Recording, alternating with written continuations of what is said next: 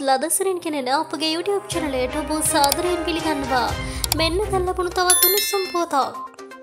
වටවල finance වගා රක්ෂිතය ගෙනක් හට ගෙන තිබෙනවා.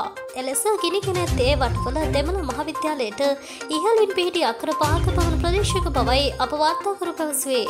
කිසියක් පිරිසක් විසින් රක්ෂිතයට ගිනි තබනට ඇති බවටයි සැක කෙරෙන්නේ. පවතින වියලි කාලගුණ හේතුවෙන් ගින්න ෆයිනස් වගා රක්ෂිතය විශාල භූමි ප්‍රමාණයක පැතිර ගොස් තිබෙනවා. මෙහිතෙන් පානීය ජලය ලබා ගන්නා ජලමූලශ්‍ර සහ ආශ්‍රිත ජලමන රැසක්ද විනාශ වී ඇති බවයි අප වාර්තාකරු වැඩිදුරටත් පැවසුවේ.